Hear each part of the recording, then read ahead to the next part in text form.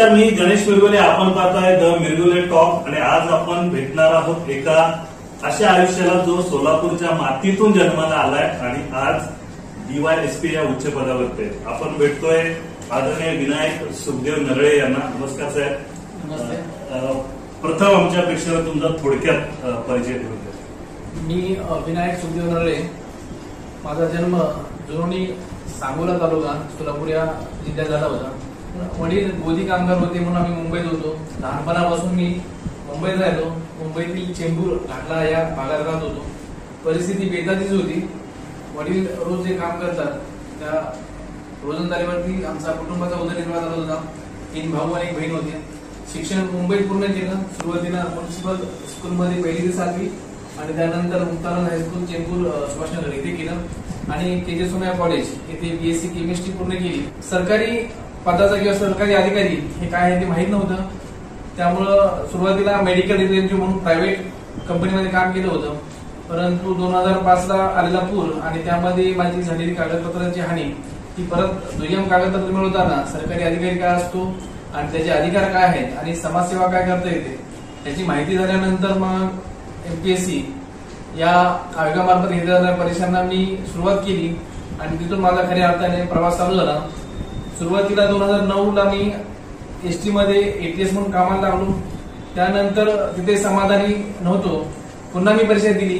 पुन्हा परीक्षा दिल्यानंतर मी सेल टॅक्स इन्स्पेक्टर दोन हजार नऊ साली दोन हजार दहा साली नाईन तहसीलदार दोन हजार अकरा सालीच्या एक्झाममध्ये मी डीवायसपी या पदावरती सिलेक्शन झालं.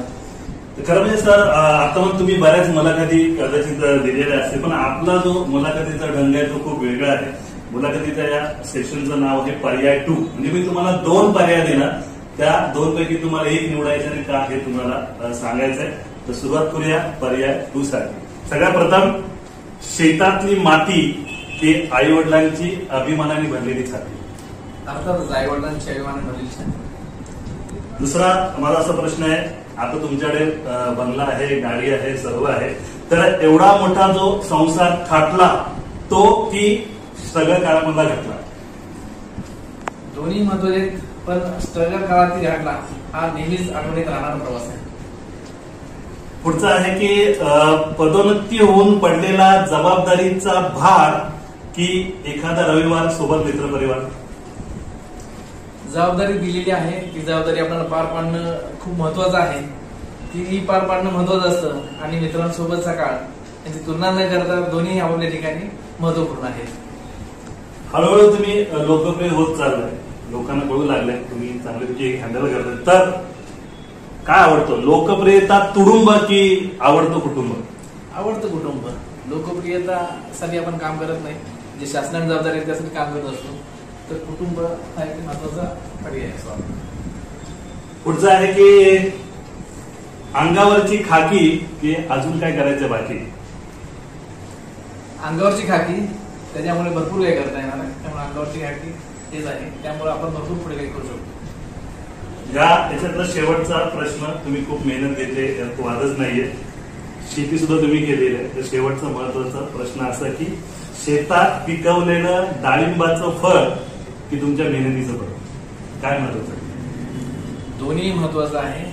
कारण आपला देश हा जय जवान जय किसान याचा नारा देतो.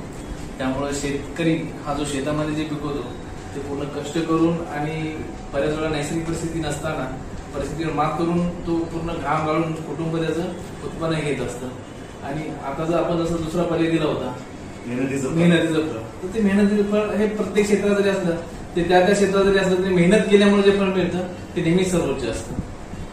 तर खरोखर सुरुवातीला साधारण विद्यार्थी त्यानंतर एम आर त्यानंतर एस टी डेपोचे निरीक्षक त्यानंतर सेल टॅक्स इन्स्पेक्टर त्यानंतर नायब तहसीलदार त्यानंतर डी वाय एस पी. ही गोष्ट नाही सोपी.